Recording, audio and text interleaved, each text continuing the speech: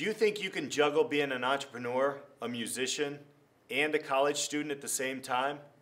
Derrick Griffin does it. He's the COO of Benepro. Check out his story on this episode of Disrupt Education.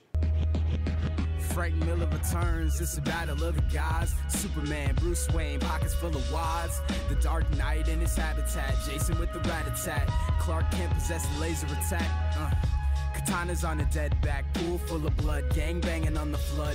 Whip stay superior, Hydro Man remains inferior. Universal Cruise with a silver exterior. Red skull pinned on the chest, got a black mask. Hail Hydra. Harley Quinn, girl, I love when I'm inside ya. Agent Carter's up next, Central Time, bruh. Got Mr. Derrick Griffin here, CMO of Benepro. Uh, COO, sorry, I get that wrong every That's time. right, that's right. Uh, tell us a little about about Benepro, man. So Benepro, uh, if anybody doesn't know about it, Benepro to play on words, it's a social media platform for innovators, entrepreneurs, anybody that has a disruptive idea. You're trying to find the right people you need, or you're looking to be a part of an idea. This is the platform to make that idea come to life. So Basically, you get a bunch of entrepreneurs together. It's like a social media platform, uh, attaching everything. That's what it's about. Yeah. And honestly, um, you know, being a young entrepreneur like myself, I'm also a uh, business major at Robert Morris. Um, one of the things we try to focus on is bringing in that younger perspective. so whether right. that be high school students, whether that be college students, Yeah. um, you think about you know the business leaders today and Mm-hmm. bringing in that young perspective so really trying to elevate the game of you know not just internship opportunities but Mhm. really like real world clients getting that real world experience Right. you know for fairly cheap labor or just for someone that's looking to have that um, experience that they need that they haven't gotten before so So what's what's really cool about you is because you are uh, downtown, you're you're taking uh, college courses, you're a full student, uh, you're an entrepreneur. So you're both basically um, a uh, a traditional and kind of a non-traditional student. Um, tell me Yeah. tell me a little bit about that. Like, how does that work in? Like, what worked for you in school? What didn't work for you in, in like a high school setting? And, and how did you get to kind of splitting the splitting Yeah. the, the realms? So? I think the traditional side comes a little more from my parents, um, but more importantly, I believe the traditional side of being a student has allowed me to become disciplined and Right. really has allowed me to teach myself my time management. It's really forced myself to know that if I want to pursue something on my own, I can do it. So I don't make school an excuse, Right. but it allows me to create that work-life balance, quote unquote, that people want to, um, I guess, achieve in their lives. Right. So by doing so, I always tell people I'm willing to live an uncomfortable lifestyle now to live comfortably for the rest of my life. Nice. And so, really, my goal as an entrepreneur, as a leader, is to amplify the strengths uh, around the people amongst myself. Right. Um, so the way I'm doing that is just by continuing to network with the people that are reflecting uh, my morals and goals that I'm trying to achieve. Yeah. And just uh, you know, I'm also a musician, so Right, that also right. just kind of complements things as well. So it, it keeps it keeps me loose and keeps me motivated on what I'm doing.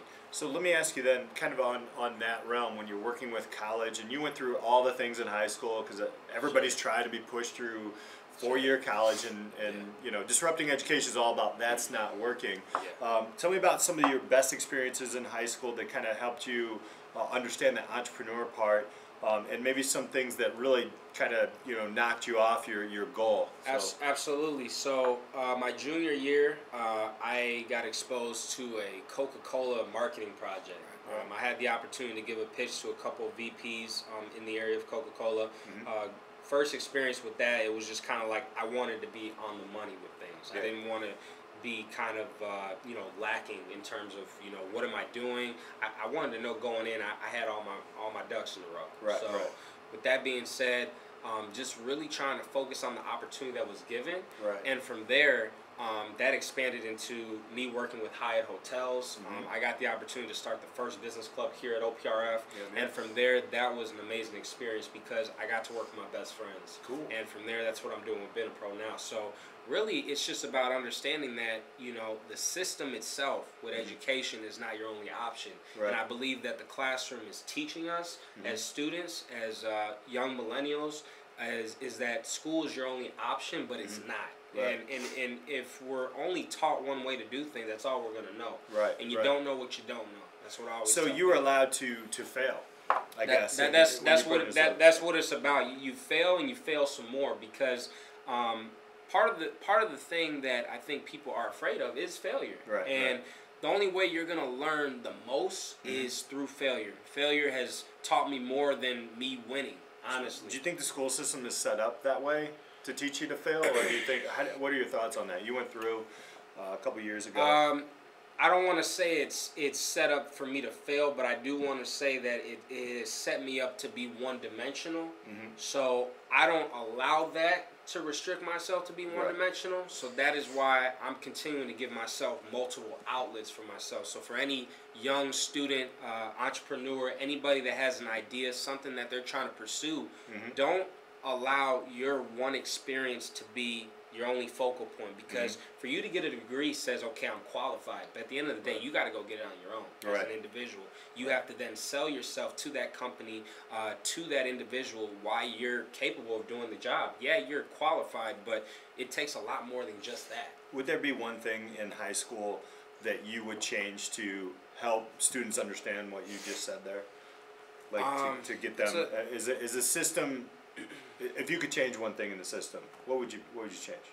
I think for me is uh, flexibility and time. I Mm-hmm. believe that uh, with such a long school day, you think about high school, you're, you're almost going to school maybe for seven or eight hours a day, Right. and it's it's almost it's think about it equivalent to a nine to five job. Sure. Um, but I think with college, that is the one thing I can differentiate is is the time freedom I do get. Mm-hmm. You may have a couple classes in one day. You focus on those couple classes, and then from there, you got you kind of have the rest of the day to yourself. And I always Right. tell people you have the same 24 hours in the day, and however you decide to use it is up to you.